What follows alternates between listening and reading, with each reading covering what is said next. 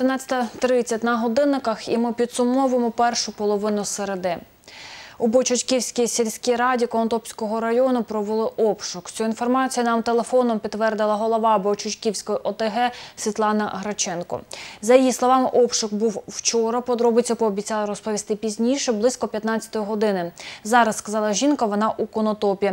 За інформацією сервісу моніторингу реєстраційних даних компанії України та судових реєстрів від 26 січня 2018 року відкрите кримінальне провадження за статтею зловживання владою або службовим становищем під час будівництва мініфутбольного поля у селі Козацьке Конотопського району.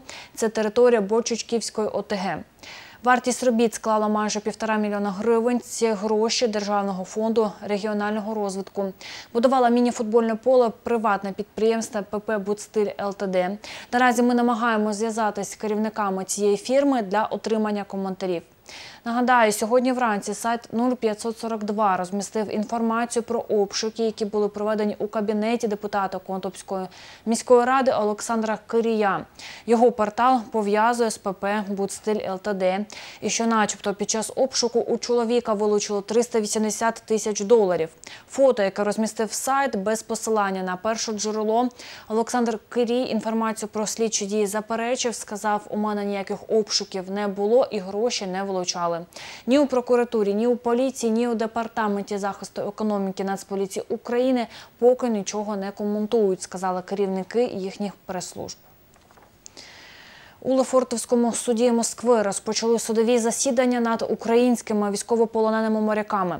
Розглядають продовження їм міри запобіжного заходу. О 14-й розглядатимуть справи трьох інших четвірок військовополонених, серед яких уродженець шостки Богдан Неболиця. Деталі далі від моїх колег.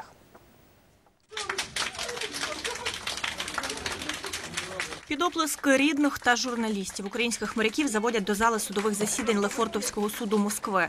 Саме там сьогодні мають вирішити, чи продовжувати запобіжний захід 24 українцям. Як і минулого разу їх ділять на четвірки. Ось що вони говорять до початку засідання. Вы можете говорить? Это они не могут говорить, а вам можно? А, а можна все, все буде Україна. Вже після початку засідання українці вкотре заявляють у суді, вони є військовополоненими. Уважаемый суд, согласно статье 17 Женевской конвенции о отношении к военнопленным, военнопленный может назвать из себя фамилию, отчество, воинское звание, дату, месяц своего рождения и личный номер. Место своего рождения указывать не будет. Адвокат Сергій Бадамшин говорить, станом на 12-ту годину на засіданні вирішували підсудність справи. Рідних, які приїхали на засідання, з зали попросили вийти. Сейчас по четверкам точно так же. Первые три четверки, потом вторые три четверки. Закрытое судебное заседание. Конечно, сначала пускают, потом просят всех удалиться. Нагадаю, українські військові катери Нікополь і Бердянськ та буксир Яни Капу російські силовики атакували 25 листопада минулого року поблизу Керченської протоки. 24 моряки опинилися в полоні. Їх звинуватили в незаконному перетині кордону. Вони ж звинувачення відкидають, себе називають військовополоненими. Наразі моряків утримують у СІЗО Лефортово. Тиждень тому Петро Порошенко вручив родинам полонених державні нагороди. Вісім родин отримали ордени на квартири. Серед нагороджених і родина Богдана Неболиці, уродженця Шосинського району, командира артилерійського катеру Нікополь. У Путильському районі створюють музей парк радянського періоду. Збирають там бюсти та скульптури діячів радянської доби. Мають понад 30 експонатів. Скульптури почали збирати три роки тому. Першим став пам'ятник з Володимира Леніна. Експонати до музею під відкритим небом привозили Сумської, Полтавської та Чернігівської областей.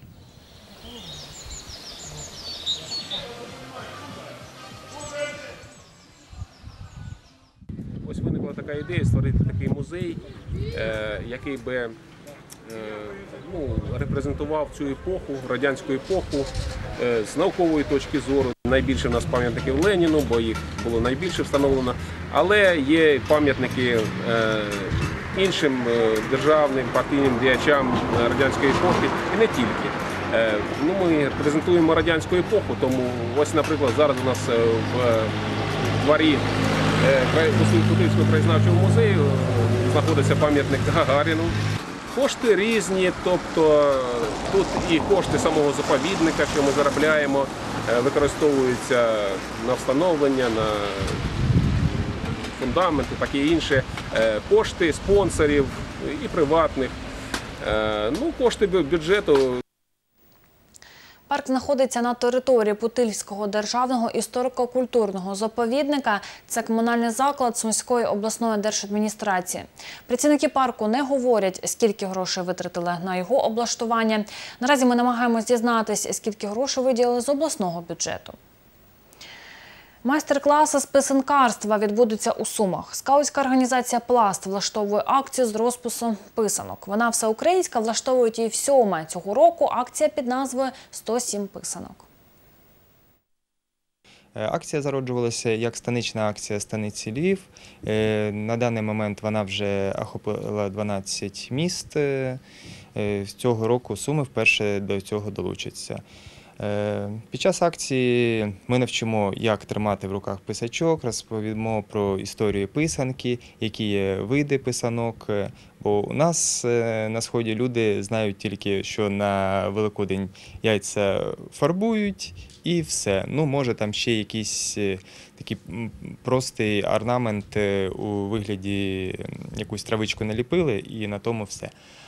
Але насправді історія писанкарства вона є дуже глибокою, У Сумах на трьох майстер-класах очікують близько 50 людей. Відбудуться вони у суботу, 20 квітня о 10, 12 та 14 годинах. Тривалість одного заходу близько півтори години. Влаштують майстер-клас у розвиваючому просторі клумба на вулиці Харківська, 2. Участь у заході безкоштовна, але за попереднім записом.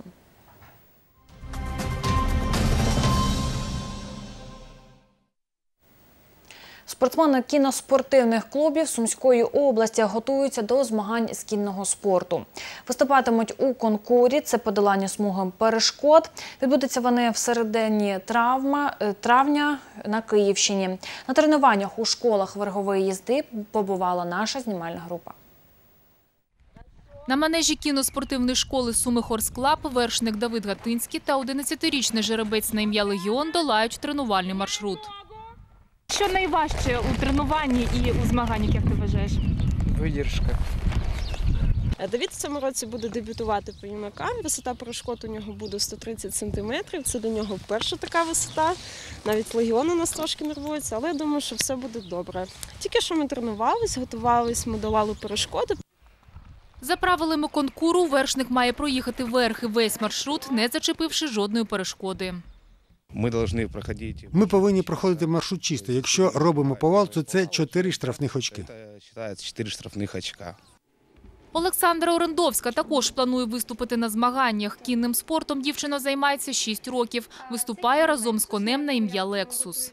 Це Лексус, син ланцера третього, одного з найкращих жеребців е, в Європі.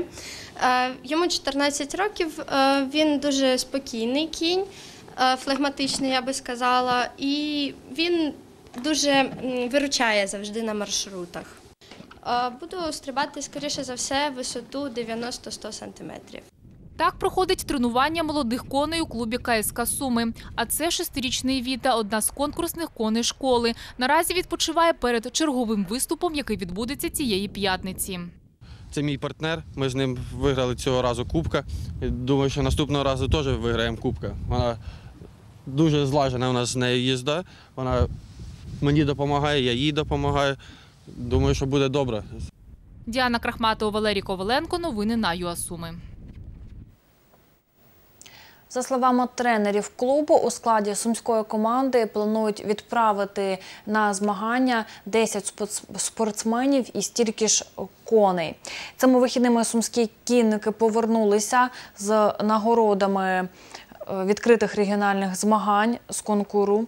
Е, Відбулись вони у Київській області. Це сумський вершник Василь Зайцев разом з конем на ім'я Газаро долають перешкоди висотою у 130 сантиметрів. У підсумку збірна команда двох клубів виборола 10 медалей за перше, друге та третє місця. На цьому з вами прощаюся. Ввечері вас вітатиме Катерина Гладенко. Вона підсумує цей день. Ми з вами побачимось завтра о 7.30 ранку.